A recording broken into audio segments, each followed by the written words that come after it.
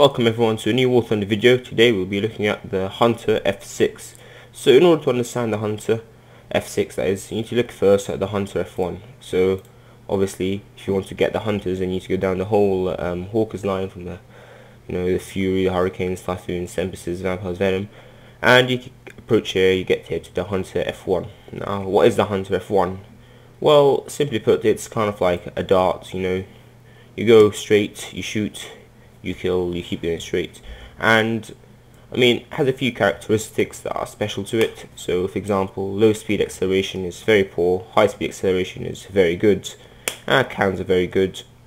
Good energy retention, that's probably because of bad turning, and so on and so forth. So, all in all, this is like a decent plane to fly. I mean, sure you need to get used to it, but you know, it's it's a good plane. It's a good plane. So now we go on to the Hunter F6, which basically is the Hunter F1, but everything better. So it's faster, same cannons, slightly more maneuverable, better energy retention, and so on and so forth. And overall, it's just a far nicer plane to fly. You know, you can actually feel the power going through it. Because I remember when I got the Hunter F6 first, well, after like I researched using the Hunter F1, there was a huge difference even between a stock Hunter F6 and a speeded Hunter F1. Now, the main main difference though is um, these uh, the SRAMs, which have been a grind. You need to go through all of this, all the bomb and rocket upgrades in order to get the SRAMs. However, once you get the SRAMs, you basically fly the Hunter F6 as you know a missile platform. So you go for the missiles, then you can go with cannons if you want to. So basically, the missiles reduce the cannons to secondary weapons. And all in all, it's an amazing plane to fly. Similar concept to the Hunter F1, as in you take off, you fly straight to the enemy, you shoot the enemy, you continue flying straight. There's, sorry, there's no maneuvering to be done in this.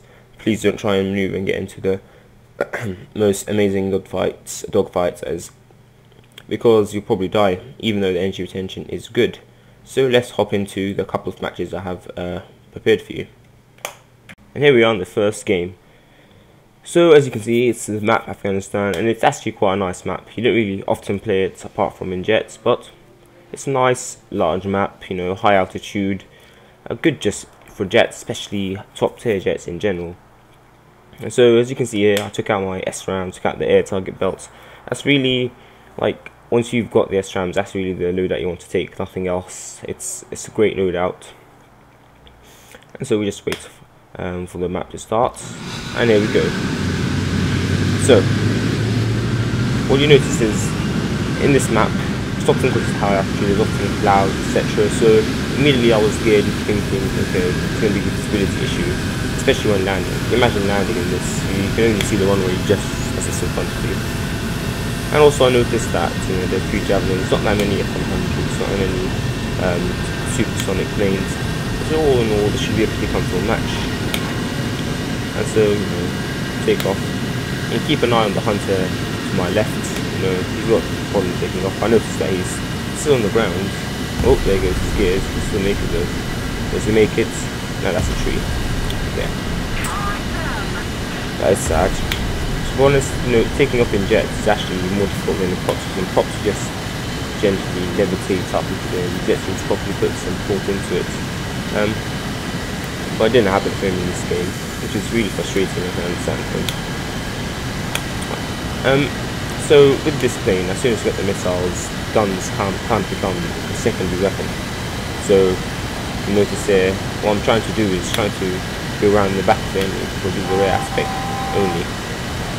And after that, as soon as you get a lock, you know, very, very good chance to kill the enemy. And so instead of pushing in, I sometimes like what I like to do is kind of rush in but then turn around after them. So you can always get like a head on kill or two as you'll see in the second match. But what you really want is to be in a position where the enemy can't really get to you because well, we're behind them. And so I gently, I would have otherwise went for the leftmost base the uh, is. Uh, but what I'm doing is I'm trying to hide behind this mountain, the mountains which is follow the river. So basically try and stay away from the enemy, try and stay invisible, and then as soon as they engage, curve back around to get them.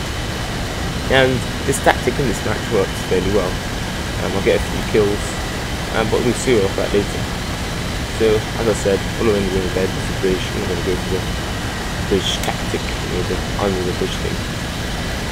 There's an F86K, now those are fairly dangerous, although I believe in the stat card, I am actually faster than even though they have an alpha burner. However, one of the main things I want to look out for in this Hunter F6 is the F86K. Apart from that, the only actual super or subsonic jet that is faster than you is the Super Mystère, but that has atrocious energy retention. As you can see, there's like a mountain, there's like a ridge in front of me, so I'm going to plan to turn around the back of that and then see what I can engage. And that's how it goes. See the enemy starting to engage my units to kill a javelin, the poor guy, to kill the Courtois, I mean, what can you expect? It's just, hmm, especially with a missile, and there's nothing they can do against a missile. But I turn back around and search for some enemies. And, yeah, it's empty. Oh, there's an extra 4 there. Oh dear, there's quite a few planes here. However, I'm not really that worried because something you notice about this plane is that unless it's a MiG-19 or maybe an F-100, you're basically safe. I mean, there's not much you can do. And so, oh look, the Sabre going for my other, for my teammate Sabre, and easy lock on, but FJ is such a nice target. Look at that, look at that, look at that. However, I'm just not maneuverable enough to actually get to him. Can't fire from this other, I'll obviously miss. So I'll just go around, I try not to get him in my guns, he's so focused, like super focused.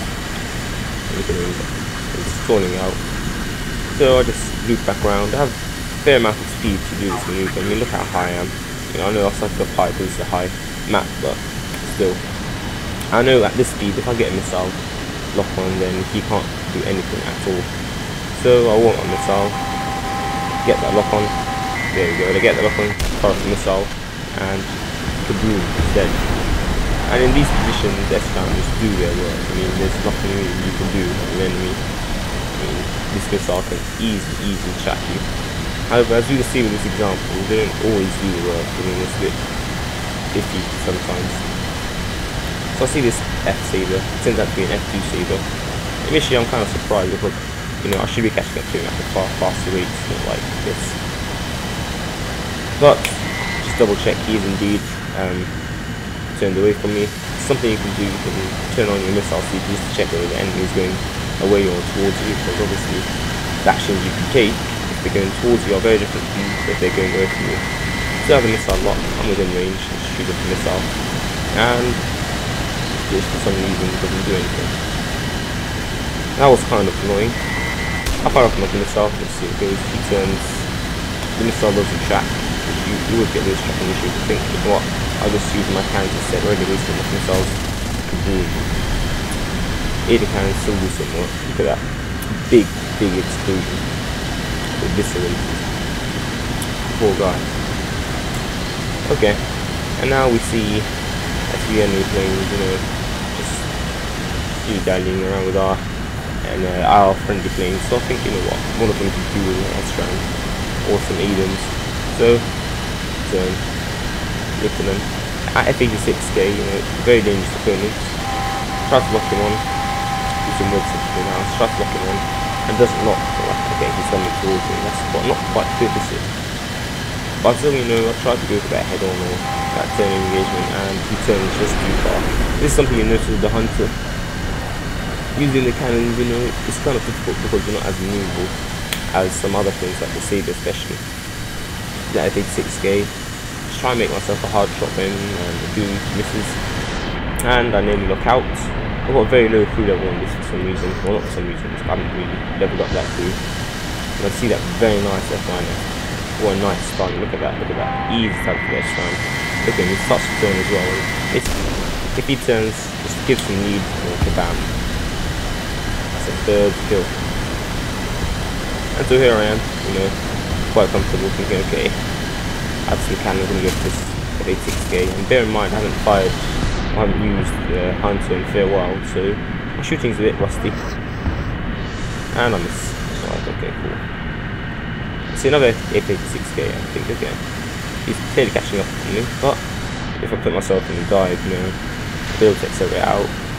Missiles, no problem whatsoever. Look at that dodge. Easy, easy dodge. He's still gaining looking good. And I'm like, wait, what happened? Oh dear. Pretty surprised by this. And a crash. I, I was dead anyway too, so there's nothing to do. So, this concludes the first game. And we're going we're going now into our second game, which is Operation Peleliu. And immediately I think, okay, this will be kind of tougher because this is a map against the Japanese, and the Japanese have the legendary Mitsubishi T2, which in reality, you know, it's a fast plane, has some radar, missiles, etc. But it's it's a playable plane, especially in the Hunter F6. I mean, really, in general, the only two planes that can actually fight the Hunter F6, uh, sorry, the T2, I think, are this Hunter F6 with their strands, and also the MiG-19S. F100 is fair worse, but to be honest, I haven't really played F100 or MiG-19 PT, so, you know, I can't really judge. Lots of things to do specific maps with the air spawn. I just fire blow, and what usually what happens is, when you drive slow, just checking on this unlock actually works. I have fired that and a teammate before doing that, but whatever. Give the people in the aircraft carrier also a nice flyover. Do that. New anyway, enough playtime. So what I do is I dive low and do the same thing we did before the F100 crashes as well. And in this game I was let down badly by my teammates. Like the two of one, but this, well can't see it yet, but I was let down pretty badly by my teammates. Either way, I spot a Mitsubishi T2. I think okay, with a head on. Uh, body turns and just about Oh well, I have plenty of ammo in this, so I'll just go for another one. And see there's a uh, saber, Japanese saber. I go for the shot and I get hit, which I got very angry about because these cannons don't usually hit, which should have been a kill. But either way, you know, should get him next time I suppose. So, you know, I think of like this prime this transition. But I get um, of uh, scared because one plane I spotted on the minimap. It's a T2, well, it's below, below me, so it's not really that dangerous. But I try to lock onto me anyway. Got a lock on, the missile, and misses. Missiles have quite short range, but I'll go for a second anyway, and give it, give it the lead, and get killed. This is what I mean about the S-Rams really being good against the T2, because the T2, as soon as it turns dodge, loses so much speed. But I got that kill in the room. That T2 just fancy me because you can't do it. And okay, push him. So basically, at this point, I'm just seeing the feed. Our team is keeping getting killed. And look at that, it's a stalker house. What am I going to do? So, what I do decide to do is just do the typical hunter, boom and zoom, or boom and go away, I suppose spot that T2 up there. So spot this T2, give him a quick head on, get a crit. Oh, okay, that's nice. I mean, putting a T2 in the head on, it's decent. I mean, even though T2s are characteristically trash at head-ons, but whatever. So we'll turn around. I think, you know what, I'm going to try to go for that T2 again just to ensure he dies, but, you know, basically, can't really get catch up to him and then two other T2s behind me, three other T2s behind me. Really a pretty bad position. And I'm just making sure the T2s actually catch up to me. I see that T2, I'm like, okay, here we go. But he dies. That's T2 I did earlier. And felt quite good. There's a missile, off it goes. Really, apart from the S-Rams, you don't really need to think about too too much about other missiles. They're quite easy to dodge. Even S-Rams, you get to them, they're really dodge as well. There's other two too. And yeah, this is again prime prime uh, S-Ram positioning here. Look at that. Easy, easy. Far up the and so does well really good. I have no clue what that S-Ram did and the T2 appears to be more maneuverable than me at this uh, speed, so whatever. you know, I have better energy retention than T2, but it still turns into me, I'm like, oh no, oh no, and he hits me, and to be you know, after all those hits I kept getting I starting to, you know, get some payback, but I tried to zoom my way, and I accelerated away from the T2, which is what would happen because my energy retention, he must have been so slow there, but I still had a fair bit of speed, so I know you'd be catching up to me soon anyway, so I thought, okay, this is the end. I have a T2 in my cell, have another T2 here, let's try go pick it on. No, nothing happens, okay. One more T2, let's get another hit on. Oh, okay. And at this point, like, what can I do? There two T2s in my cell. As soon as I slow down to, you know, have one of them overshoot, everyone get me. And I mean, I knew I was, I was done for. My team it's trash. It's, yeah, it's I mean, Hunter can take bit of damage from the T2's cannons, but I it was going to end anyway.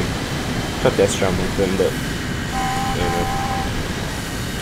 There's another T2 coming, let me turn him, try to make him, make me a hard target. Um, but ultimately, I die. I mean, yeah. Look at that, look at how bad my team is. I'm so disappointed. Sorry disappointed. Two F100s died immediately. So anyway, thank you for watching everyone. Hope you uh, enjoy this video. I mean, Hunter F6, great playing with the S-Rams. Slightly worse playing without the S-Rams, but yeah.